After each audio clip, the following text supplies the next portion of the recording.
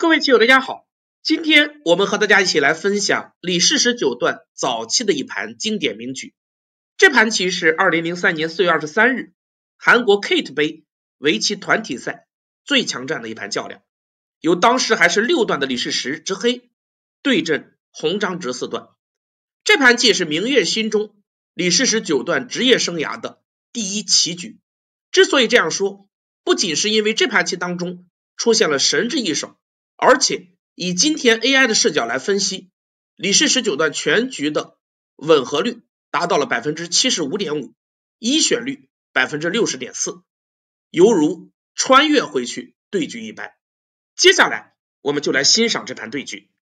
执黑的李世石选择了星小目开局，白棋没有再占空角，而是直接挂，黑棋二间高加，白棋大飞，以下形成了腰刀定式的。经典变化，下一手白棋压，黑棋长，接下来白棋扳，黑棋粘住。此时白棋有两种选择，简明一些的下法，白棋可以虎在此处，这样这个断点就不复存在。但黑棋也从下方拆开，这个结果当时公认为白棋在局部稍亏，但就全局整体而言，黑棋其实也可以接受。但是现在由于白棋争子有力，下一手棋。白棋选择了更为强硬的变化，就是直接立下去，这样就形成了腰刀定式最为激烈复杂的一个变化。接下来黑棋断必然，白棋打吃，黑棋长出，下一手白棋再挡，黑棋尖是局部手筋，瞄着二路的扳以及白棋的断点，白棋打吃完挡住是最强应对，黑棋长，白棋粘住，这个局部白棋脚部有五气，而黑棋仅有四气。对杀黑棋不利，但黑棋要借用的是外围白棋的这个断点。下一手白棋跳出，黑棋尖，白棋粘住。接下来，现在我们看到争子是白棋有利，所以黑棋此时有无有利的引争手段，是这个定式好坏的关键。以 AI 的角度看来，这个定式虽然双方各有出入，但整体而言还是五五开。接下来，李世石选择了先在局部定型的下法，这样白棋也必然要收气，而黑棋真正的目的是抢到三十七位的扳，白棋收气，黑棋粘住，白棋再立下。但是以 AI 的视角看来，这一连串的定型方法反而是黑棋亏了，此时黑棋的胜率百分之三十左右，但目数依然是非常的接近。下一手，黑棋再次挂角。这手棋有引征之意，但非常含蓄，因为从引征的效果来看，暂时这步棋是没有起到引征作用。不过白棋也不能随手在这个地方应，因为黑棋接下来的手段都有引征的效果，所以实战当中白棋干脆直接在右下补了一手，黑棋再挂过来，接下来白棋选择了跳，但这手棋是稍有疑问的一手。AI 此时的建议。是白棋直接将这颗子提掉，将右下一带彻底补净。至于上方一带，这颗白子罪不至死，暂时并没有生命危险。马小春九段的建议是白棋此时在此尖一手，黑棋跳风的时候，白棋再提示，和 AI 的观点大同小异。而实战当中，白棋选择了跳下固守角地，李世石也非常机敏，下一手棋黑棋先长出。防止被白棋一招提净，白棋长，黑棋顺势一长，接下来白棋再打，黑棋逃出，白棋抢占了左下的空角，而黑棋则后实的提吃，这手棋也是 AI 的一选。下一手，白棋跳出，防止黑棋在这一带跳加封锁的手段，黑棋抢占下方大场，白棋守角，黑棋守角，这是各得其一的好点。下一手。白棋再次拖了过来，这手棋的目的是希望黑棋再次扳住，白棋顺势一退，黑棋再飞补时，白棋从此穿出，这样白棋手握三个大角，实地占优，而外围一带黑棋要想形成模样，还需要子力的配合，这样白棋满意。但李世石开始爆发，面对白棋贪心的这手拖，黑棋下出了妙手，此时黑棋先尖。这手棋的时机极其微妙，同样也是 AI 的一选。此手的目的在试探白棋的应手。如果白棋现在粘住，那么黑棋再回到下方搬，白棋退回，黑棋再次飞步，这样有了这个尖和粘的交换，黑棋在这个地方已经防住了白棋再次点的手段。这个结果，黑棋先手便宜，白棋不满。而如果现在白棋选择单退的话，那么黑棋可以冲了之后，在上方挡先手，然后再次拆边，这样黑棋看清这颗子，在上方一带构成了两翼张开的阵势。不过 AI 认为白棋也只能这样下，而实战当中，红张直在这个地方开始用强，下一手棋白棋顶在此处，要求撞伤这颗黑子，而黑棋也毫不示弱，接下来冲完之后，再脚步断了上去。白棋打吃，黑棋再从下方强硬的连扳。这个地方黑棋的招法看似无理，但却暗藏杀机。韩国的尹奇炫九段曾如是评价李世石：这小子太像当年的曹勋玄了，不仅眼神、对局习惯、棋风像，就连长相也很像年轻时的曹勋玄。而在这个局部，李世石将自己的风格展现的淋漓尽致。现在。白棋再度面临选择，如果此时白棋忍让，虎在此处不断，那么黑棋打完之后长出，将上方的白棋封锁，黑棋还是满意的，白棋吃亏。那么如果这个局部白棋打在此处，然后再粘，将形成另外一盘棋。接下来黑棋先在上方打，白棋提吃，然后黑棋拆三，这样的图，白棋这个断点还需要处理，而黑棋两边都走到。白棋心情上不太满意，但是从胜率上看，这个下法依旧是白棋保持着微弱的优势。但是实战当中，红张直显然被李世石无理的招法所激怒，因为很明显这一代的争子是白棋有利，所以下一手白棋直接打吃，黑棋长出，接下来白棋回粘，黑棋竟然就直接争吃了过来。难道李世石竟然在这个地方看错了征子？红张直也是一头雾水。实战白棋直接逃了出来，黑棋再吃，白棋再逃，而黑棋再打吃的时候，白棋继续逃出。红张直已经确认征子确实是白棋有利，李世石似乎出现了致命失误。然而下一手棋是李世石职业生涯当中有名的神之一手，接下来。黑棋再次直接挖了过来，这是绝妙的一手棋。现在白棋竟然已经动弹不得。这个局部我们看，如果白棋在下方打吃，黑棋可以再次打。白棋如果提掉，黑棋滚包，白棋粘住，接下来黑棋就可以强行争吃这块白棋。而由于下方一带被滚包气紧，现在我们看到这个白棋被全部吃住，这盘棋自然就结束了。右下的白棋全部阵亡，无法继续进行。那么同样，如果是黑棋挖的时候，白棋从上方吃，也会遭到滚包，这是大同小异的。而如果在白棋吃的时候，黑棋打，白棋不提吃，再次长出的话，那么这个地方黑棋长先手，白棋再长，现在的争子依旧是黑棋有利。只要能够争吃掉白棋，那么这个局部。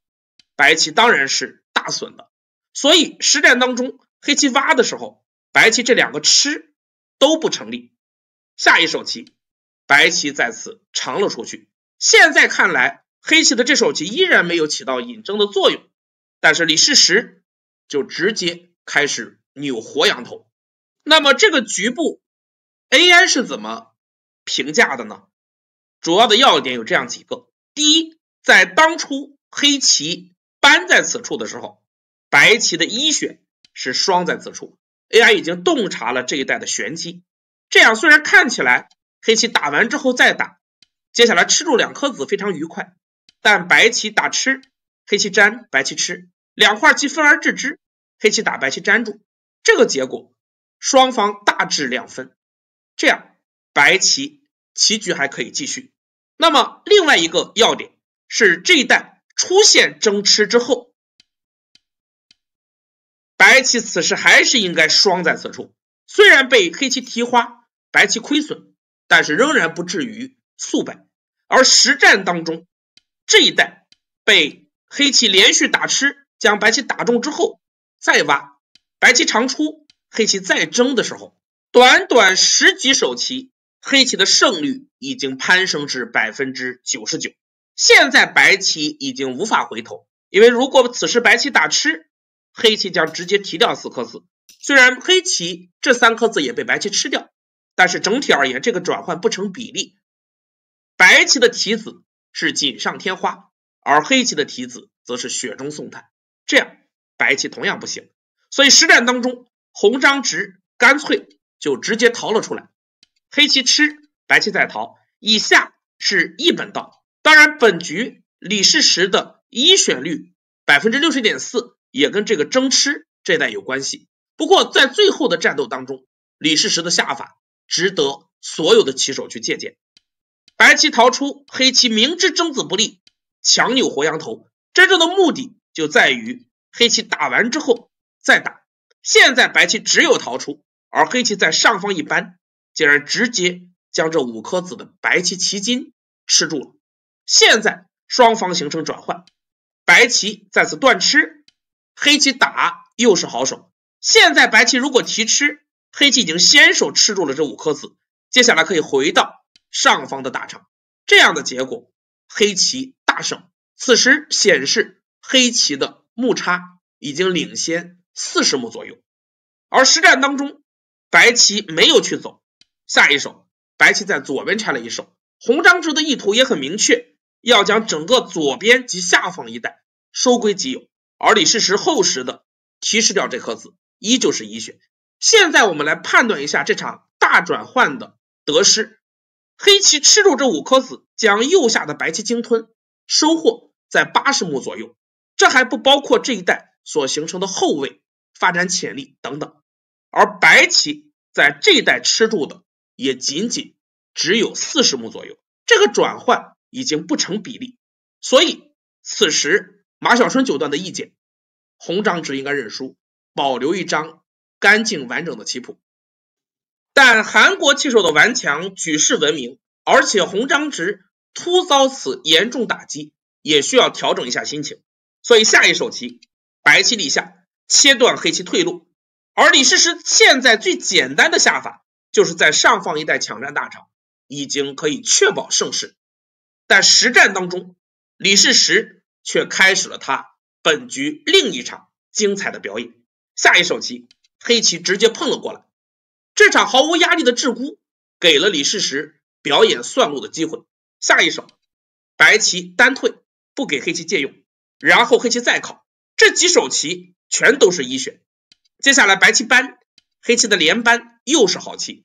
此时白棋不能退让，如果白棋长出，黑棋简明粘住，下一手的搬就活了。白棋立下，黑棋一飞，这一带的残子竟然发挥了作用，这样黑棋做活。白棋已经无法继续，所以实战当中，白棋继续用强，黑棋立下，白棋大吃，黑棋长出，接下来白棋粘，红章直要求全歼黑棋，然而李世石接下来却将这袋白棋空中的余位以及黑棋中央的这些残子利用的出神入化，几乎招招都是一血。下一手，黑棋再次拐头，由于脚步，黑棋有拐出长气的手段。白棋接下来挡住，而黑棋再飞点，紧盯着下方断吃这颗白子的手段。白棋冲反击，黑棋再次冲。白棋现在如果挡住，那么黑棋的这步挡就成了先手。中央这一带以后在此虎或者虎在上方，黑棋眼位充足，白棋要竞杀难度很大。这个地方需要说明的是，这一带只要黑棋形成结争。白棋就崩溃掉了，因为黑棋只要成劫，并不需要一定做活这块棋，哪怕在上方连下两手，依旧是黑棋大胜的局面。所以实战当中，白棋在此压力下，下一手棋奋起冲出，直接破坏黑棋中央眼位，而黑棋也毫不手软，接下来在此粘住，白棋拆一补强自身，同时继续破野，黑棋冲先手，白棋粘住，然后。黑棋再挖，这一带李世石以攻为守，处处击在了白棋的缺陷上。白棋打吃，黑棋粘住，下一手白棋补住断点，黑棋打吃，而白棋这颗子竟然已经不敢再逃出。如果白棋此时强行逃出，黑棋的挡成为先手，白棋再吃，下一手棋黑棋可以直接虎在上方，白棋冲，黑棋粘住，这个地方断不进去。而当白棋再去扳的时候，黑棋立下，中央的这些子发挥了作用，黑棋反将白棋全部杀掉，这个图白棋大败。所以实战当中，在黑棋断吃的时候，红章直看到这一点，在上方断吃补棋，黑棋提花，心情极其愉快。接下来白棋跳继续破野，黑棋的冲又是好手，试探白棋。现在白棋如果挡住，黑棋的团变成先手。白棋再补，黑棋再次一虎，这样局部将形成劫争。且不说这一带，黑棋还有大量的本身劫，只是单纯在上方连下两手，白棋已经无法忍受。所以实战当中，白棋选择了退。但这样一来，李世石又抓住了白棋的另一个缺陷。下一手，黑棋冲，白棋挡住，黑棋团住做引，白棋挤在此处强行破引。接下来，黑棋在中央。拐头，这一带由于白棋气紧，一旦被黑棋打吃，白棋粘住扑一下之后，整个脚部的白棋反而被全部杀掉。所以白棋现在又不甘心回来收气，被黑棋先手挡住，然后在上方做引。接下来白棋硬着头皮冲了出去，黑棋先在下方打吃先手，白棋粘住，然后黑棋再扑，白棋提，接下来黑棋再拐，白棋再冲。黑棋顺势扳住这个地方，多出了一只眼。下一手白棋再跑的时候，黑棋一粘，白棋只好打吃完之后回来收气。接下来黑棋打吃，白棋提吃。下一手黑棋再次打，白棋现在在中央先靠一手，破坏黑棋眼位。黑棋粘住，接下来白棋粘回。下一手棋黑棋再次跳，又是 AI 的一选。这个地方。白棋颇为的为难，现在白棋如果再次打吃，黑棋不是粘在上方，而是直接在下方粘住。白棋提劫的时候，黑棋在左边有断的劫财，这一带本身劫财众多，而且还是我们刚才说的上方一带，即使黑棋连走两手，也已然是大胜的局面。所以这个图白棋不能接受，但是白棋这个冲又不成立，黑棋在此一挖，由于这一串白棋气紧。这个地方是断不进去的，这样反而帮黑棋行棋，所以实战白棋只好再次冲，强行破野，黑棋粘住，白棋冲下，下一手黑棋再次挡。虽然看起来黑棋的大龙只有一只眼，但李世石已然胸有成竹。下一手白棋断吃，黑棋虎是先手，白棋只好提吃。那么这个地方，相信很多棋友已然看清楚，角上的白棋。也没有两只眼。下一手，黑棋再次先打，非常细腻，白棋粘住，然后再脚步破眼，这个局部竟然形成了一个双活。下一手，白棋再尖的时候，黑棋粘先手，白棋防止接不归，黑棋再挤进去，形成双活，无疑白棋大亏，这一带的目数被全部破坏掉。实战当中，洪章直还是不死心，下一手棋。在下方打吃一下之后，做最后一搏，点到了黑棋右上角的三三。这个各位棋友众所周知，局部是一个打劫，李世石也毫不退让，强行开劫。白棋在脚步收气，寻找劫财，黑棋提吃，白棋提回，黑棋断是劫财。这一带的滚包可以长气，这个一旦白棋被吃，黑棋活了，里边的白棋也就死掉了。所以实战当中。白棋硬住，黑棋提回，接下来白棋扑是劫财，黑棋提，白棋再提的时候，黑棋就沉稳的粘住了。红张直依然没有放弃抵抗，下一手棋再次爬出，威胁外围黑棋断点，黑棋顶住，接下来白棋从左边渗透了进来，黑棋的应法依旧强硬，先手打吃，白棋提，接下来黑棋夹住了这颗白子，白棋断。做最后的试探，黑棋提吃，白棋接下来再拖的时候，李世石判断清楚形势，就直接消劫了。下一手白棋再搬，意图进入黑空，而黑棋的反搬彻底的击碎了白棋的梦想。白棋断，黑棋长出。现在这个爬回异常严厉，但是当白棋吃的时候，黑棋打吃在此处，白棋提吃，黑棋立下，这颗子还是被割了下来。下一手，白棋再次跳，威胁黑棋断点，但黑棋已然将这些残子全部看清。接下来李世石再次跳封白棋。洪章直看到这块巨空无法破坏，终于是投子认输。本局是千载难逢的活争名局，李世石九段在下方的这步挖堪称神之一手。在这一代的战斗当中，李世石从上方的尖应该已然看到了这个地方的变化，而且本局更为精彩的是，在最后的鹧鸪战斗当中，李世石下的非常非常的漂亮，几乎招招都是一选。在下方终于形成双活，而在上方的战斗当中，只不过是红章直寻找认输的台阶而已。这盘棋是李世石职业生涯当中的经典名局之一，也曾经被围棋 TV 网评为李世石生涯的十大名局之一。本局充分的体现了李世石的诡异手段，在战斗当中的狠辣与果决，很值得我们欣赏。本局就和大家分享到这儿，感谢大家关注。我们下个视频再见。